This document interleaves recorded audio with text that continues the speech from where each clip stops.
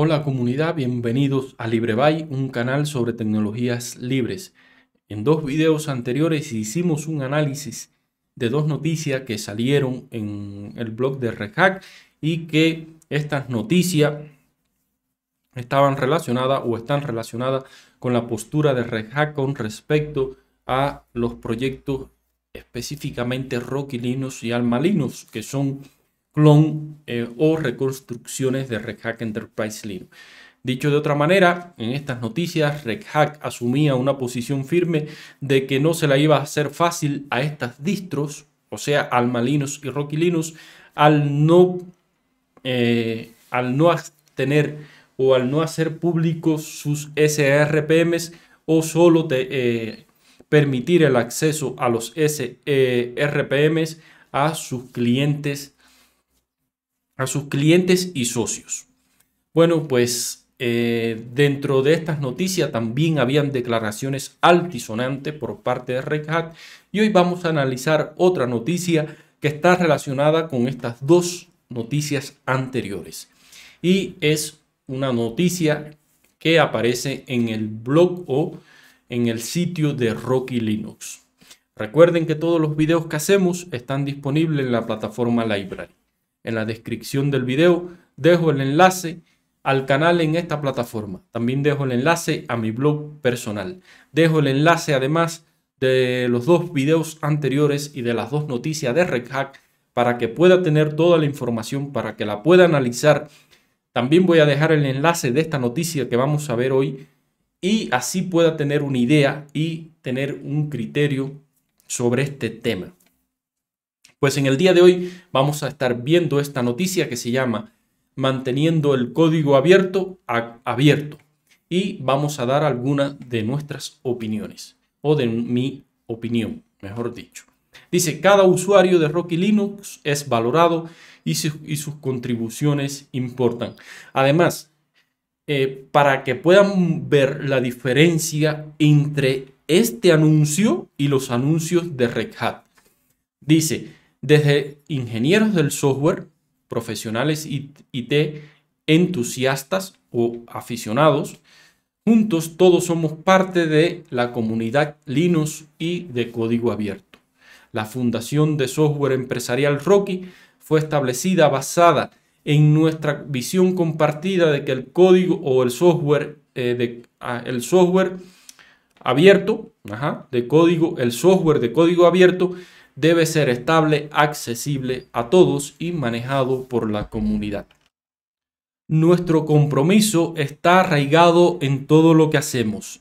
Desde el inicio del proyecto Rocky, priorizamos la reproducibilidad, la transparencia en la toma de decisiones y que ningún proveedor o compañía puedan, puedan eh, tomar como rehén el proyecto. Se está refiriendo a Rocky, por supuesto.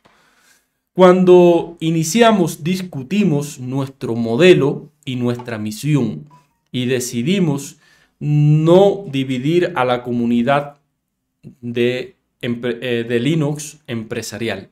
En lugar, en el espíritu de los principios y estándares del código abierto, creamos algo compatible con Red Hat Enterprise Linux.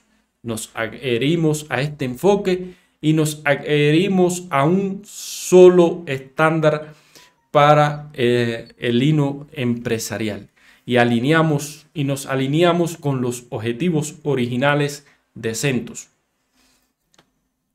Está claro que, que estos eran los objetivos originales de CentOS.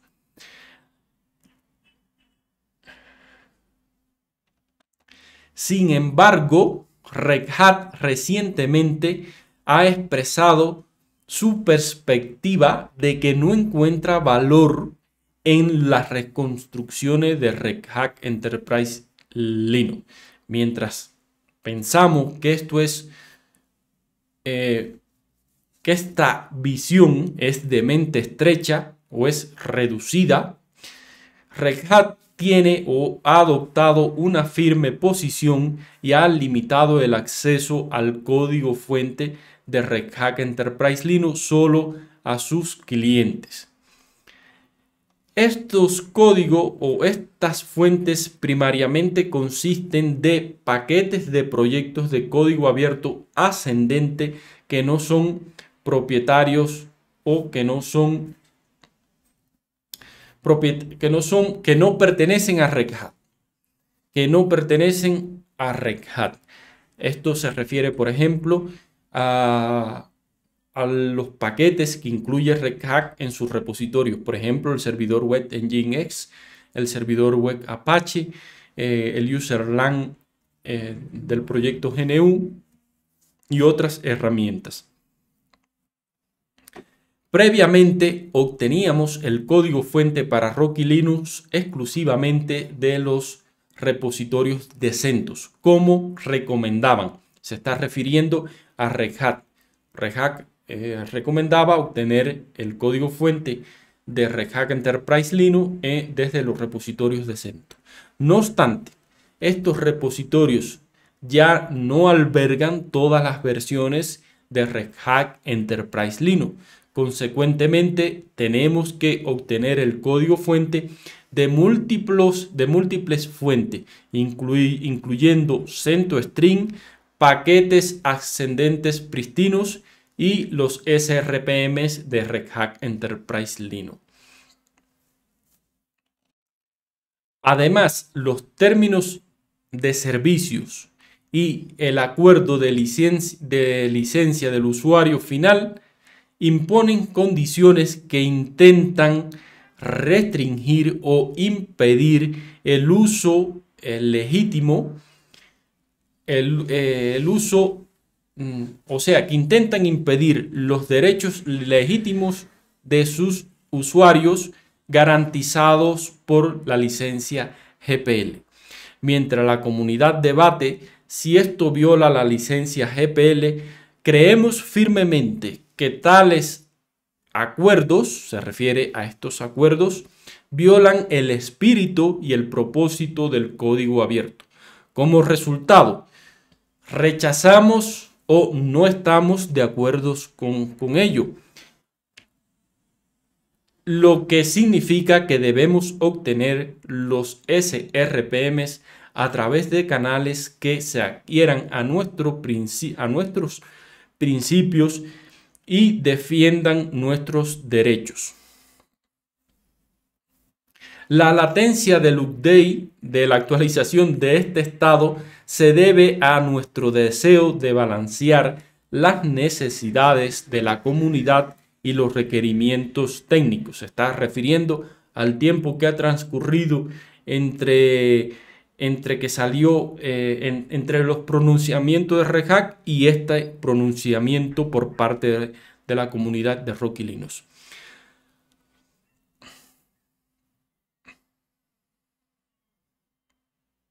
con los desafíos de la comunidad, de los principios de la comunidad y del código abierto que Red ha creado. Por supuesto, se refiere a los desafíos que Red ha creado.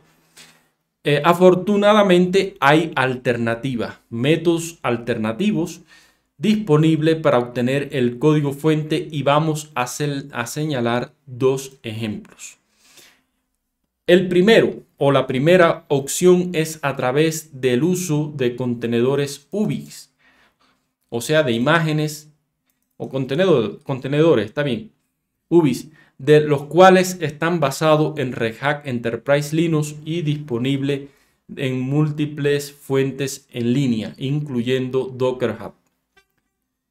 Usando las imágenes UBI es fácilmente posible obtener el código de Red Hat de una manera confiable y sin traba.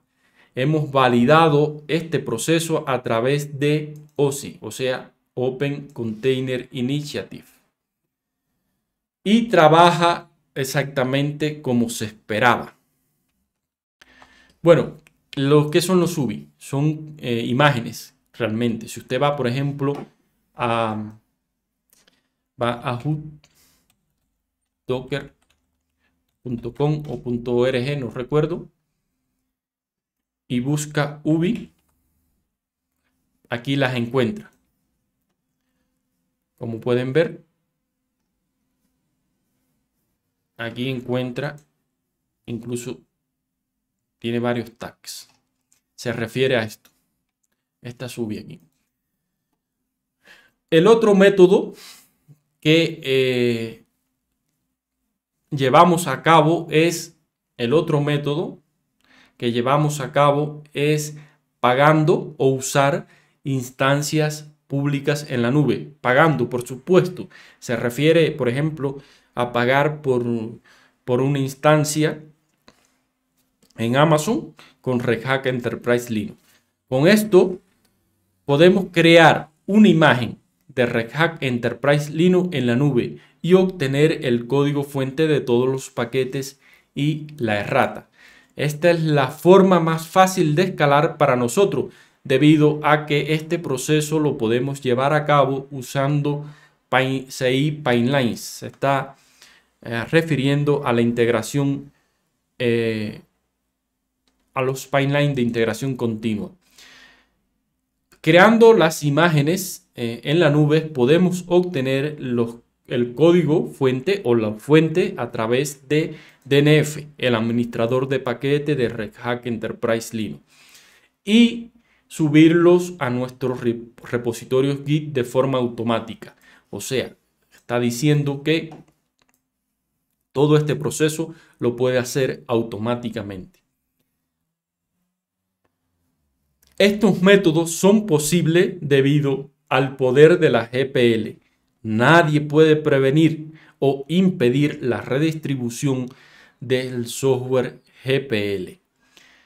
Reiteramos, estos dos métodos nos posibilitan de forma legítima obtener los binarios y el SRPM sin comprometer nuestro compromiso con el código eh, abierto ni aceptar el TOS o EULA, o sea, ni aceptar las limitaciones que eh, de estos dos acuerdos que impiden nuestro derecho, nuestros derechos, o sea, ni aceptar el TOS o EULA que impiden nuestro derecho. Nuestros asesores legales nos han asegurado que tenemos el derecho de obtener el código fuente de cualquier binario que recibamos.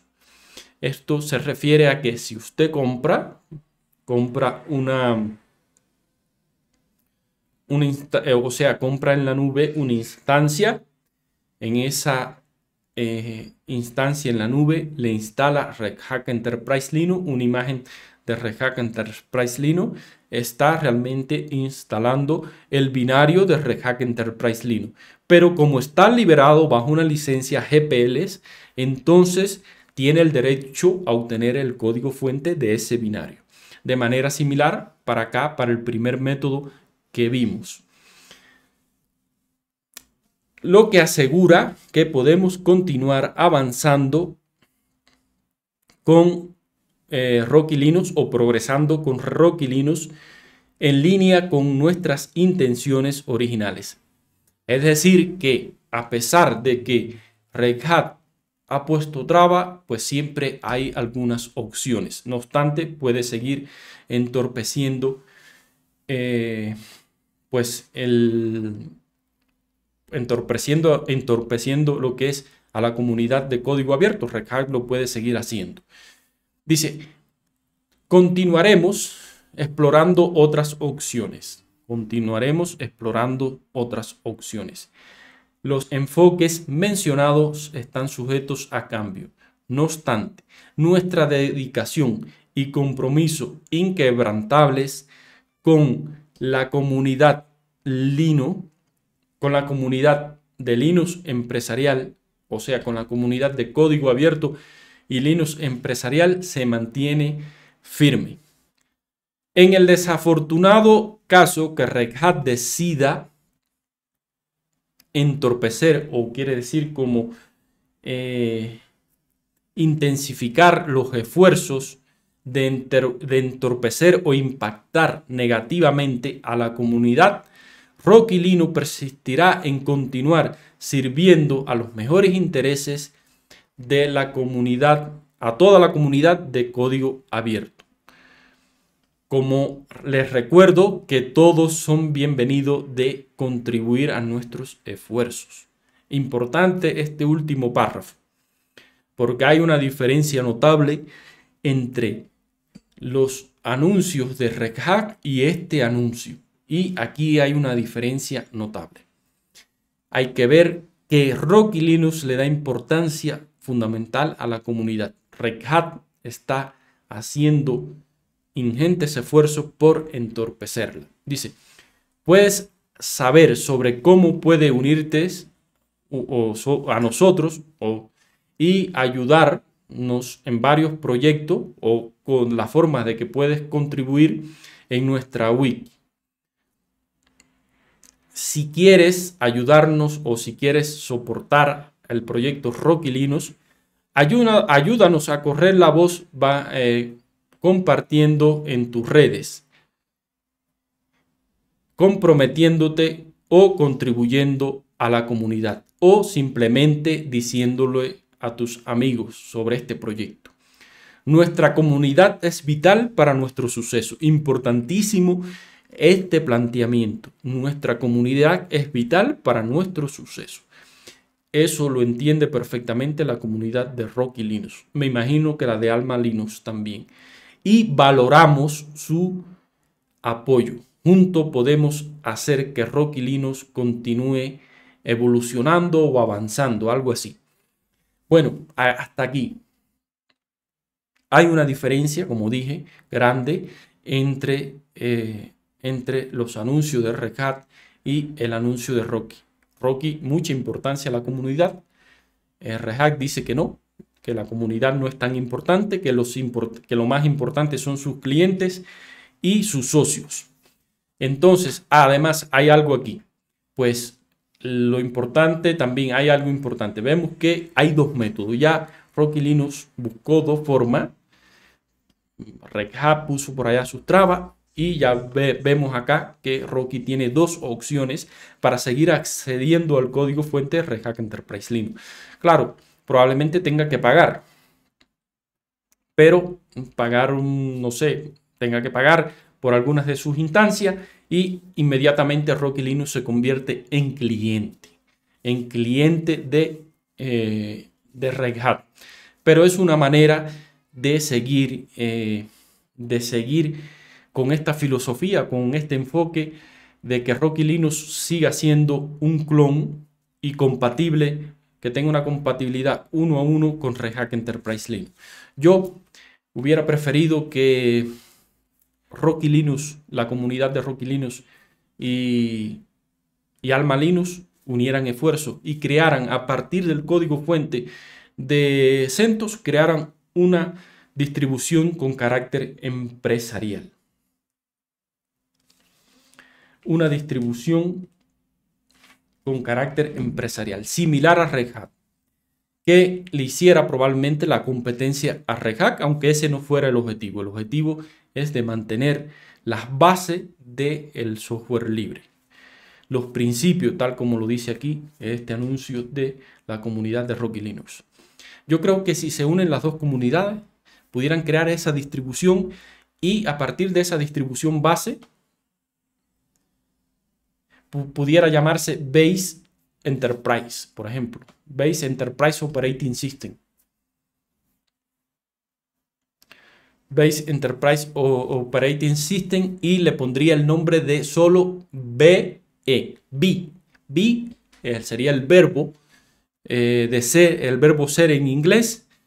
Por lo tanto, eh, daría un significado un significado a, esta distribución, se llamaría bi simplemente, corto, elegante y con un significado, el significado de ser.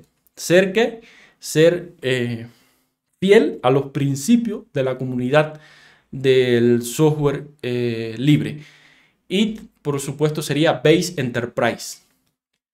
Base Enterprise, porque significaría de base para lo que es las distribuciones Rocky y Alma Linux. Esto es lo que me gustaría a mí. No obstante, bueno, aquí hay dos métodos que para mí no son tampoco los más elegantes, pero bueno, em, es, una, es una posibilidad. Entiendo también que crear una comunidad, una distribución a partir de CentOS con todas las características que tiene Red Hat. Lleva mucho trabajo, eso lo entiendo, pero me parece que si se unen las dos comunidades lo pueden lograr. Decir además que eh, el soporte de Red Hat base es por 5 años y tiene un soporte extendido de 5 años más. En total 10 años.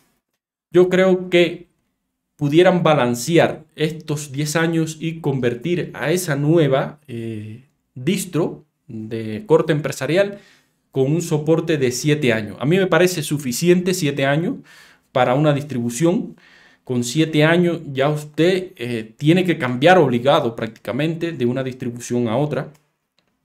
O mejor dicho, de una distribución a otra, no, de una versión a otra de la distribución que está usando, porque si no se va a quedar eh, en el pasado, se va a quedar obsoleto. Pero bueno, estas son mis consideraciones, este es mi análisis y este es mi mis comentarios. Por supuesto que los desarrolladores de Almas y Rocky tendrán también sus opiniones. Pues esto es todo lo que quería compartirle por el día de hoy. Nos seguimos viendo en un próximo video para seguir hablando sobre tecnologías libres.